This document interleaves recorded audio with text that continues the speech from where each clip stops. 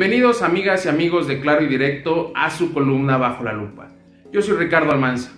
Inicia este 2021 con amplias expectativas de renovación y cambios urgentes ante un 2020 que ha dejado miles de víctimas y millones de afectaciones tras una pandemia que nos ha venido a cambiar la vida.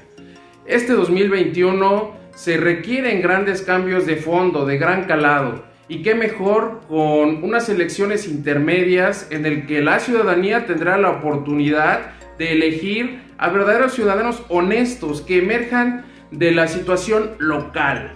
Ya no más viejos políticos de siempre bajo nuevas pieles con partidos que aparentemente se dicen ser nuevos, pero que de nada tienen de crear una nueva ideología y cambios.